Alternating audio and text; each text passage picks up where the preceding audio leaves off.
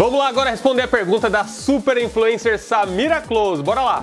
E aí, Waterplay, olha, é o seguinte, tava tendo aí uma gameplay de Resident Evil Village lá no meu canal, só que eu já tô precisando de sugestão do que jogar depois.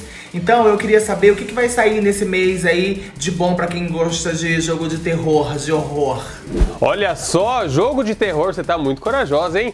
Então, como você já falou do Resident Evil Village, que foi um lançamento sensacional desse ano, tem um outro jogo aí, mais ou menos na temática de terror, que dá para fazer bastante gameplay, Samira, que é Back 4 Blood. Pensa num jogo legal, cooperativo, que você junta você e mais três amigos pra lutar contra os zumbis. É um jogo de terror? Sim, porque zumbi é uma coisa terrível, mas se você estiver junto com seus amigos aí, com certeza você vai se divertir mais do que passar medo.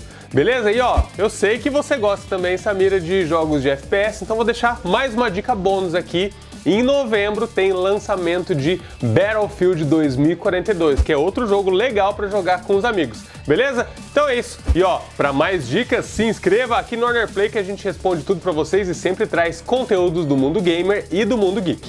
E aí, gostou do vídeo? Então se inscreva no Warner Play clicando aqui e a gente deixou outras duas sugestões de vídeo para você.